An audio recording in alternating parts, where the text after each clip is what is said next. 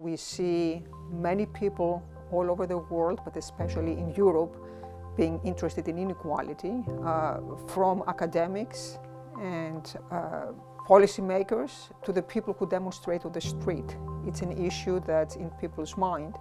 At the same time, we have collected a lot of evidence. Uh, we, have been, we have been working on related issues for a very long time.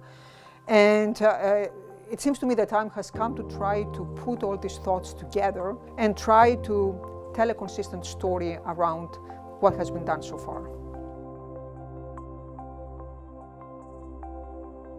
What makes this review very special is that it approaches this topic from an interdisciplinary point of view. So there are many great people working on this topic. Um, some of them are economists, some of them are sociologists, some of them are political scientists, some of them are psychologists.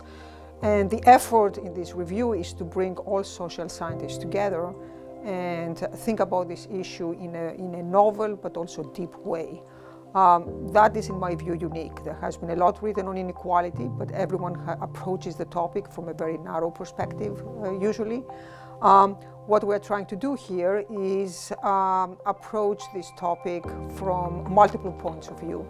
And indicatively, the title is not inequality, it's inequalities, it's a plural.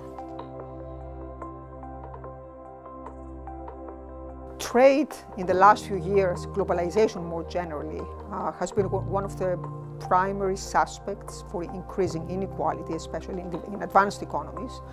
Uh, so it's a very natural um, angle to take when we think about inequality.